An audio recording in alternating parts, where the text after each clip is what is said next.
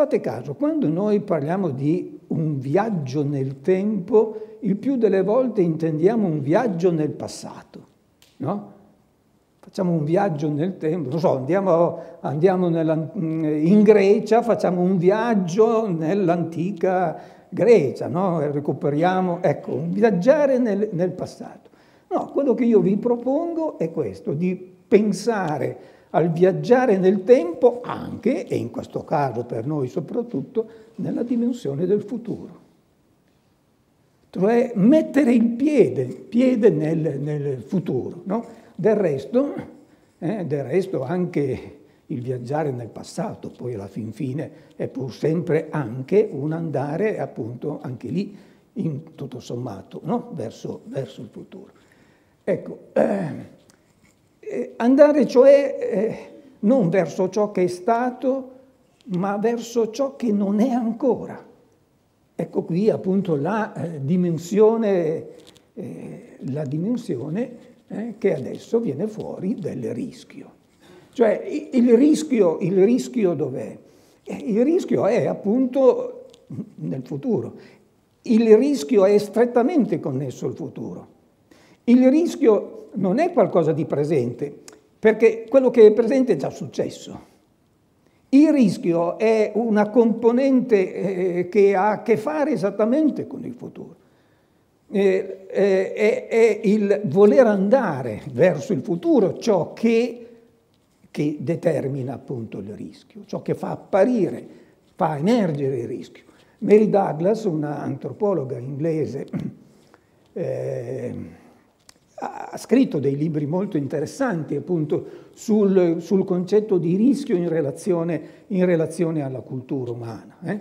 La cultura umana è da intendere allora, si può intendere in tanti modi diversi, dal nostro punto di vista noi la possiamo intendere come un modo di organizzare il rischio. Del tipo quali rischi ci sentiamo di a quali rischi eh, pensiamo di poter andare incontro? Eh, quanto, quanto, futuro vogliamo imbarcare nel, nel, nostro presente? Non so se mi spiego. Cosa significa, cos'è per lei il significato di rischio, una sua interpretazione? Eh sì, non me l'aspettavo questa domanda in effetti, anche se per tutto il giorno abbiamo, parlato, abbiamo parlato di rischio. Ma intanto per cominciare, eh, rischio comporta consapevolezza, cioè la dimensione coscienza è indispensabile, cioè voglio dire, no? eh, uno avverte il rischio, ecco, no? se, se, non lo avverti non... il rischio non c'è. Quindi cioè, cons- è, consapevolezza di... È, è consapevolezza o avvertimento, eh, eh, come dire, anche avvertire in maniera sub... però insomma siamo in quella... Siamo in quest'area. In quest'area, in questo ecco, qui, questo. Ri, eh, eh, consapevolezza di che cosa? Di un, di, un, di un, pericolo, di un possibile pericolo. Ecco, il rischio lo, lo definirei in, in, questo modo. Okay. Ecco. C'è una quantità di futuro, il futuro non è eh, tanto futuro, poco futuro. Una società molto tradizionale cerca di, cerca di ridurre il futuro, no? Una società tradizionalista cerca di ripetersi in modo tale che il futuro, in modo che lo tamponiamo, lo, lo, lo riduciamo. Oppure, al contrario, una società che si apre. Eh, Ovviamente non ci sarà nessuna società che riesca ad abolire il futuro, così come, suppongo, non c'è nessuna società che riesca ad aprirsi totalmente al futuro. Si tratta di barcamenarsi. Ecco, allora per gli antropologi che seguono appunto le indicazioni di Mary Douglas, si tratta appunto di, eh, di studiare le modalità culturali. Eh? Agli psicologi le modalità più individuali, le modalità culturali con cui una determinata società appunto organizza tutta questa problematica, che è una problematica imprescindibile. Il rischio è una dimensione antropologica imprescindibile. È presente nella nostra società, ovviamente, così come io mi ero sforzato di farvi vedere presente anche in quella minuscola società che è, che appunto eh, Ticopia.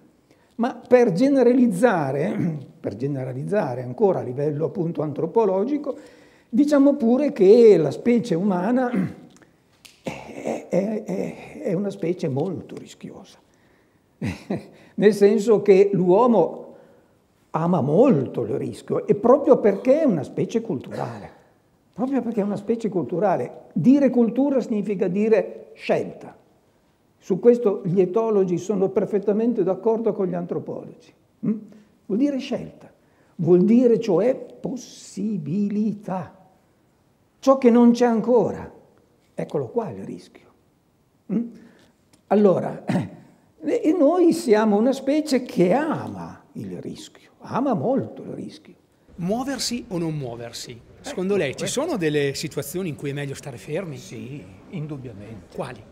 Per esempio, non lo so, posso dirlo in... Ecco, io sono abbastanza convinto che noi dovremmo smetterla di crescere economicamente, eh, tecnologicamente. Lo so di dire una cosa... Un'eresia. Eh, eh, però, però sono abbastanza convinto che, come dire, stiamo mettendo a rischio veramente non solo noi stessi ma, ma un po' l'ecosistema. l'ecosistema eccetera, eccetera. e questo è qualcosa, cioè, è qualcosa che va veramente pensato ecco, bisogna, io credo che mettere dei freni se non addirittura bloccare se non addirittura retrocedere insomma.